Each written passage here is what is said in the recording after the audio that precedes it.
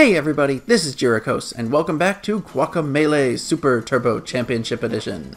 Last time we entered the Temple of Rain, we found an Alebrije, which is a humongous monster, and we met X'tabay, who is, um, friendly, but also not friendly. And now we're going to continue exploring, and I just gotta take a moment to marvel at this picture on the back of the wall here, which is just downright creepy. I really hope we don't have to fight that Alebrije. But let's move onward and... Oh, that's not a good sign. Something big is moving. And what could it be but... The Alebrije. It's busted loose. Yep, it is out of here. So, well, we're not getting back up there. But if we move on, we see our second of these big chickens. Hey man, if you get lazy while up on the wall, push into it to cling on tight. Good to know. You can also hold triangle to hold yourself in place and not slide down. Go and little dimension hopping to get between those different walls. And we've come full circle on this side.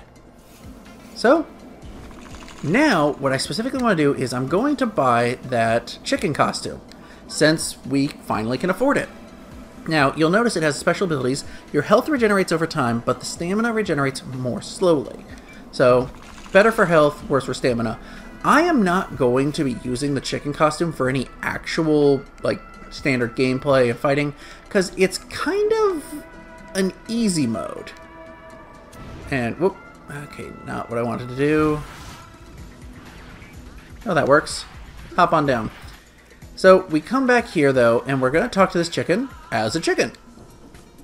And he says the exact same thing. In the original game, he does say something different if you're wearing the chicken costume. But I still want to, you know, go through and do it for all four of the chickens. So, change back to our previous outfit. There we go, standard Juan.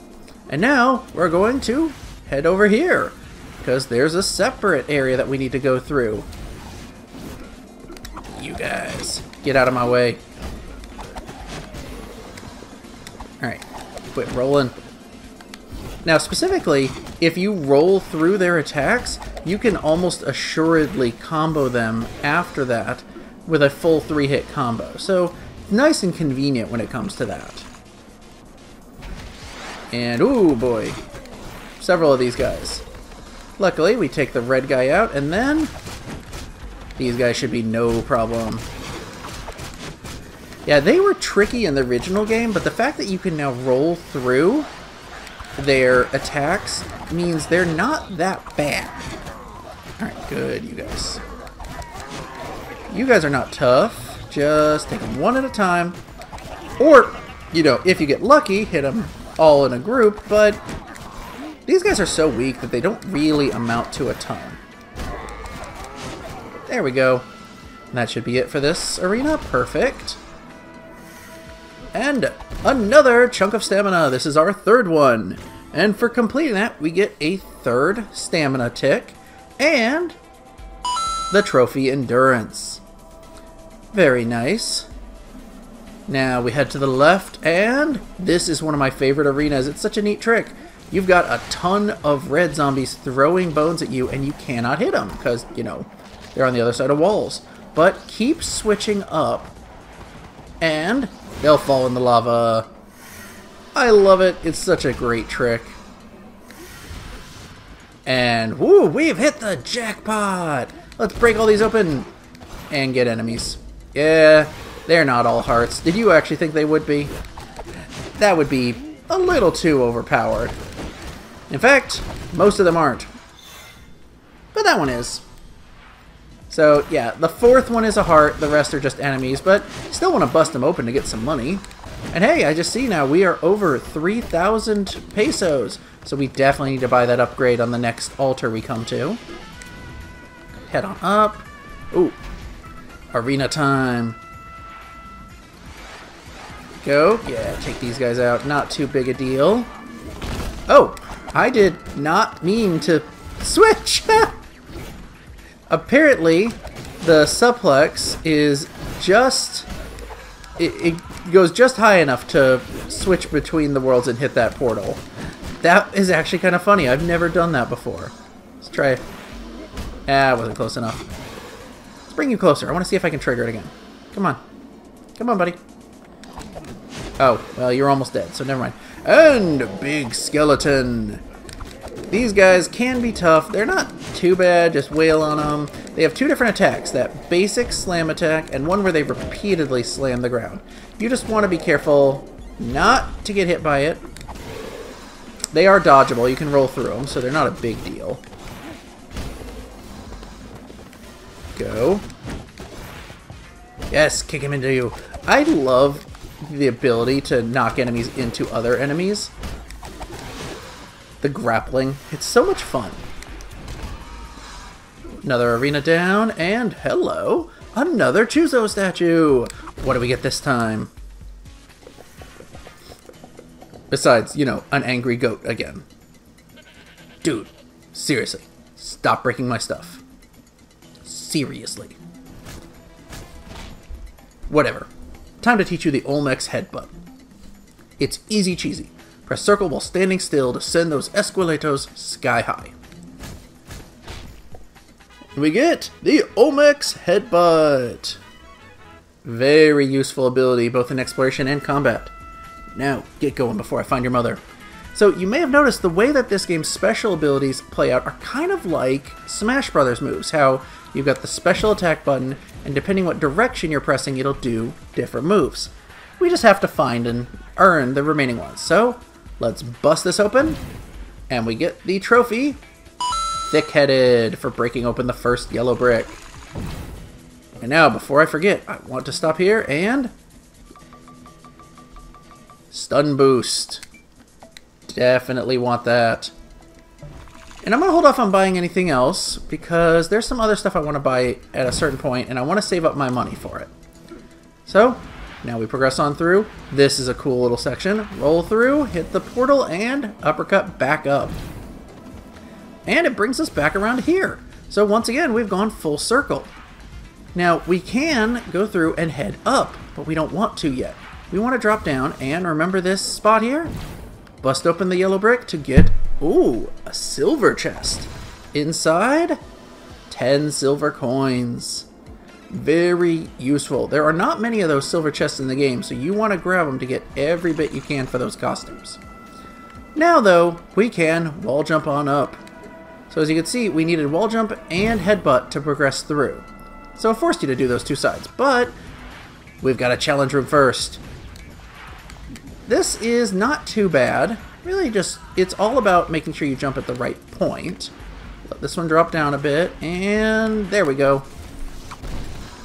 And it's nice that they make it, you know, so it's real simple and easy to get out. You don't have to do some crazy challenge if you proved your way going one way through. And here we've got another path up, but we don't want to do that yet. Once again, head to the right. And hey, it's an Olmec head. So you can teleport around. It shows you a nice big world map there. But we don't want to leave the temple yet. Don't worry, we'll come back to him later. For now, let's head on up. And, oh, almost got hit there. Oh, why? Ah, that's one downside. I sometimes get a little ahead of myself, and you cannot grab while you're ducking. So if I try to grab and then throw them downward, but press the buttons too quickly, it can mess it up a little. And I will say, the pile driver is easily my favorite grapple does a lot of damage, it keeps them in place, you can keep comboing them, and here, as you can see, it uproots enemies. It's a nice little bonus. And, oh, I ran right off the edge. Just kind of an inverse of what we did last time. Just drop below, oh, and then uppercut to get back up. Simple and fun. Now let's climb on up with a little bit of dimension swapping. And, huh, well, we see a heart chest there, and, well, didn't actually put it on our map. Did we get closer? No, because it shows the red block blocking our path. But we'll find a way to get to that eventually. Here's kind of a slightly harder version of the wall jumping dimension swapping we did before. And there you go. Easy enough to get through. You guys. you know what? Aha, I love throwing enemies into others. It's seriously, it's the combat in this game is surprisingly robust. There we go. Now, bust open this and walk right into vines. Roll through the vines, and we come to that spot we saw earlier. For another full heart. Nice, it extended our life a little bit. That's very helpful. Believe me, you're gonna need it as this game goes on. Luchador. You haven't seen an Alebrije around here, have you? He's large, multicolored, looks like a fish mixed with a cat snake. He's about the size of a house? Ugh. Are you hiding him, Luchador? Every second I look is one more second Calaca spends alone with that sacrificial trout. Rah! Humph. Sorry, you had to see that, Luchador. Now, I have to go find that stupid Alebrije. Next time we meet, maybe we can truly tango. And we get another arena for our trouble. Thanks so much, X'tabay. That, that's so kind of you. Alright, come here. Let me kill you. Boom! I love doing that. The great thing is, because of the way that enemies fly with the different moves, you can combo in a ton of moves if you know how to do them just right. Another hit, perfect, and ooh, big skeleton. No problem. Now you see here I did a uh, Olmec's headbutt into a rooster uppercut. You can chain those together, but you cannot use a single move multiple times without touching the ground. So, like, you see how he's flashing there? It's because I try to use the Olmec's headbutt twice in the air. You have to set foot on the ground first. So, it's kind of a limiting measure, so you can't just keep uppercutting over and over again to reach real high points. That'd be a little cheap. But now we'll head onward and keep breaking through bricks. Now this is kind of cool. If you try to jump through the portal, it doesn't let you. You have to hop over it. A nifty little trick.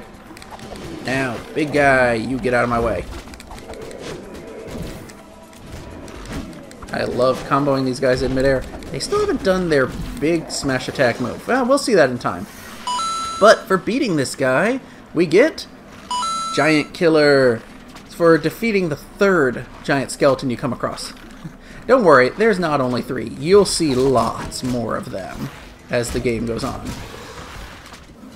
Take this guy out, throw you to the left because I don't want to hit that portal and then be unable to hurt you. Perfect. Now, some uppercutting. Perfect. And there we go. I love these wall carvings, I guess is the right word, of the Alebrije's face. They're kind of cool looking. Whoops, did not mean to jump down. And, nope, don't want to buy anything yet. But hey, we made it up top. And there's an altar. Oh, that better not be El Presidente's daughter. Juan, it looks like Calaca carried out a ceremony here, but you've missed it. I wonder where they've gone. Maybe you should head back to Santa Luchita to look for clues. Wait, what was that? I have a bad feeling about this. Quick, get out of here! Oh, sure it's not that big a deal. I mean, what's the worst though? Okay, yeah. Alebrije is coming after us, and man, he looks mad. This is just a platforming segment. You gotta keep going and you have to wait for him to actually destroy certain blocks to progress. Thankfully, when he kills enemies, you get the rewards. It's kind of a nice touch. Break through these bricks. Keep going. Switch it up here. And wait for him to come along as he kills all the enemies in his path. Jump up. Ooh, it's cutting it real close. But we're almost there. Okay. Break open the spot below me. Perfect. And... I love the throwback to the original Mario Brothers with the axe and dumping him in lava. It's great. And you get the trophy. That's one big gato frito. Sorry, Luchador, but your princess is in another castle. And another wonderful throwback. It's great. Another castle with my boyfriend Calaca. Grrr! Ever since El Presidente's daughter has entered the picture, my relationship with Calaca has been ruined. And now you've gone and killed his pet Alebrije, the Alebrije I was taking care of. Ooh. Proof that beauty is not everything. That is one scary woman there. I would kill you where you stand, Luchador, but I have a trout to catch and a man to win over. Oh boy. Do not make her mad. That is what we've learned from this. Anyway, now that we've taken out the Alebrije, we can head on down here. And it deposits us next to a heart piece. You also earn the trophy Nooks and Crannies if you've been following along as I've been doing, which, if you look at the world map, you see our symbol here is gold. That means we found every single chest in this area. So if you look at our individual map in the top right corner, it says 100% for this area. And 12% for the whole game, but pretty neat. Now we just need to get out of here. Yeah, the two chests that are the easiest to miss here are easily that one where after you get the headbutt, you go back one room to open it up, and that one before you even enter the temple. Those are easy to miss. Oi!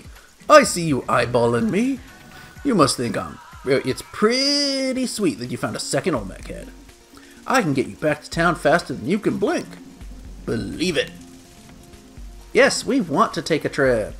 And so, we can teleport to Santa Luchita. You got it, hombre. No liquids over three ounces. And we fly! Well, we teleport. And you get the trophy. Whee! Pretty nice. Now that we're back in Santa Luchita, the very first thing we want to do, I think, is pay a visit to Combo Chicken, since we have the Olmec's headbutt now. He's probably waiting for us with some new challenges. And once again, I missed the jump. I forget that you can't quite make that without an uppercut. He does indeed have new challenges. Let's continue our training with combos involving the headbutt. Perfect. Come back, Poncho. Let me beat up on you some more. There we go. These, again, are still pretty easy. We're not into the really hard ones yet. Those will come. I say as I miss the hit. These it's best to be right on top of him. And you want to hit the circle moves really soon after finishing the combo. Otherwise, it can go too far. Ah, darn it. You know what? Let's get you closer to the wall. Okay, stay on the wall. Let's see if I can do it this way. Nope, that screwed it up. Okay. The way it was meant to be. There we go. I just kind of got ahead of myself on that one. You've just served up an order of pain con carnage. And some more money. Very nice. Nope, no more to teach us right now. So, now if we look at the map, it gives us an idea of where we need to go. Oh, looks like Hernando's bar might be open. In fact, it is. And there was a chicken in there. You know what? Fly, chicken. Let's see. Um. You know what? No, I don't want to head into Hernando's bar yet. I think this is the perfect opportunity to switch it up and do the first Caverna del Pollo challenge. But I'm going to change it up. I'm going to be Flame Face. This one is he stamina regenerates slowly and melee attacks steal life. It's a little bit like the chicken costume, but it forces you to play aggressively to restore your health.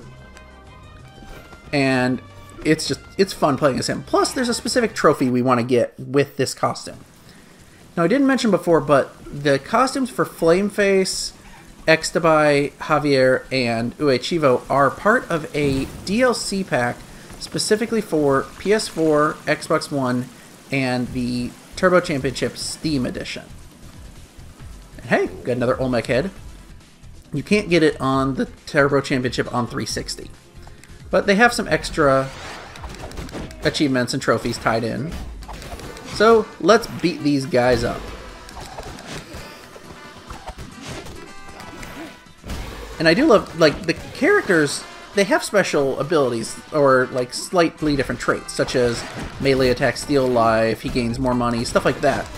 But the way the characters play is exactly the same. They'll look different, like his uppercut and his, um, like his Olmec's headbutt is smashing him from the side. But it still plays exactly the same, which I think is pretty cool. It just looks kind of different.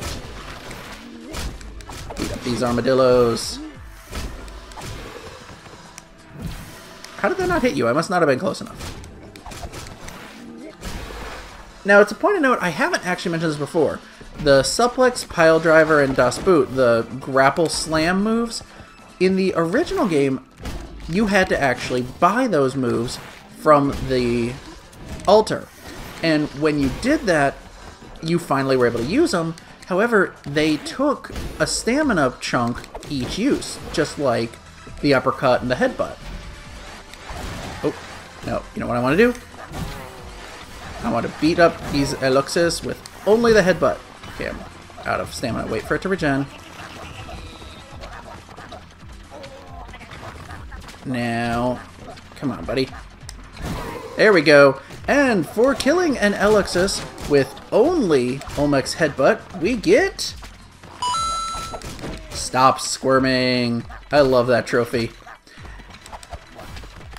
Oh, come on. Okay, you know what?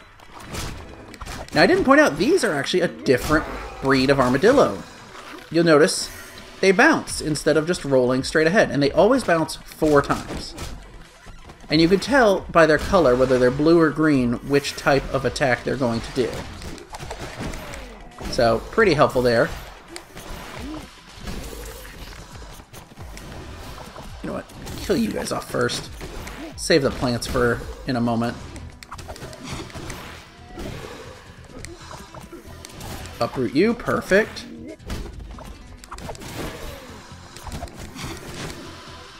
Good, and defeated. Move onward.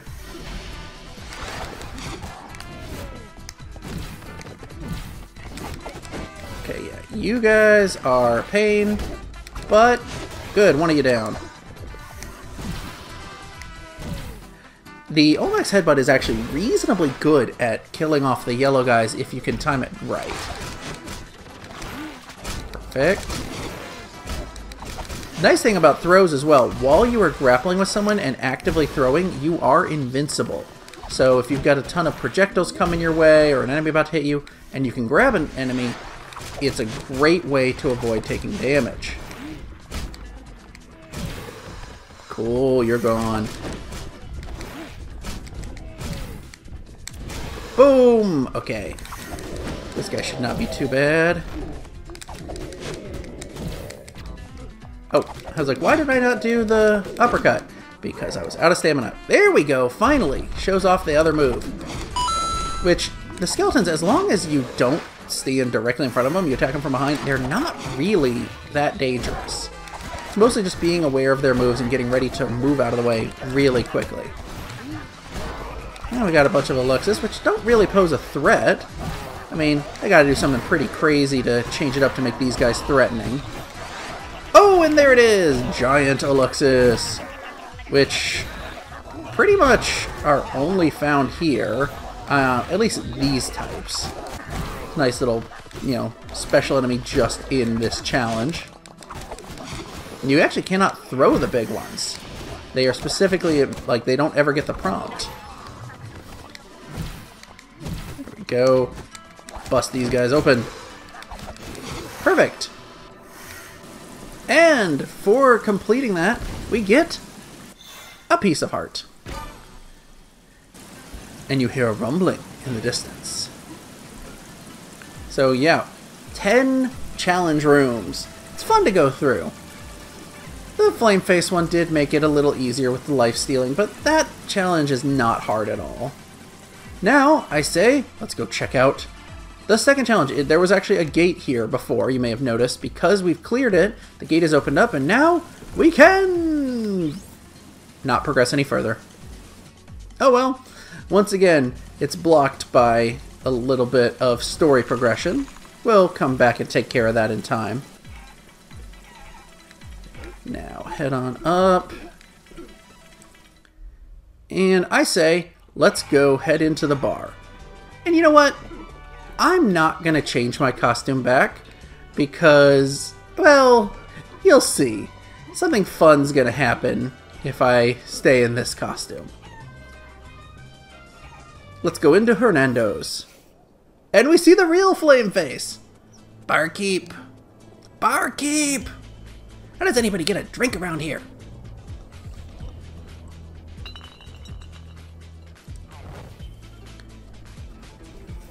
You, boy, you brought my tequila? What is this, some kind of joke? So yeah, even if you're wearing a costume, all dialect is exactly the same. They don't treat you any different if you're wearing a costume. Except your taunt there is matches his. That's great. Bah! Another luchador looking to be burned like the awful huevos rancheros that pass for food around here. Bartender! Ah, this freaking headache. Prohibition sucked back the first time I was alive. I would have stayed dead if I knew this was all the present had to offer. You're supposed to be running away at this point. What do you want from me anyways? Well, if you must know, I was cursed by the devil to have my head eternally engulfed in flame. I thought burning people alive in my last life would curry his favor in death, but apparently he has a complex about being the one to dole out the suffering. Or at least had a complex until Calaca terminated that turkey. Alas, there is no way for me to break my curse, but as in life, a little drink can always take the edge off your suffering. You see, there are no spirits in hell, but once the merging of the worlds is complete, oh, how the fire water will flow! Well, you've definitely been worth a laugh, Luchador, but you've wasted more than enough of my time. This hangover worsens with each passing moment, and I am not looking forward to baking in the desert all afternoon. You'll share a parting shot with me, won't you? Parting shot? Oh, come on. No more bullets? Bah! Fate has spared you, Luchador, but I assure you, the reckoning at hand will make you wish otherwise. Here, buy yourself a drink. You should relax in town. I promise there's nothing of interest going on in the desert. He gives us 21 coins. And it says to pursue him in the desert. But before we do that, we're going to continue farther in the bar next time. This is going to wrap it up. We've done a lot this time. We managed to kill an Alebrije, and we're still pursuing Calaca. Maybe Flameface knows what's going on with him. But that's to have to wait until the next time. If you guys have enjoyed this video, make sure to click like and subscribe and follow me on Twitter to stay updated with the channel. And I will see you guys next time.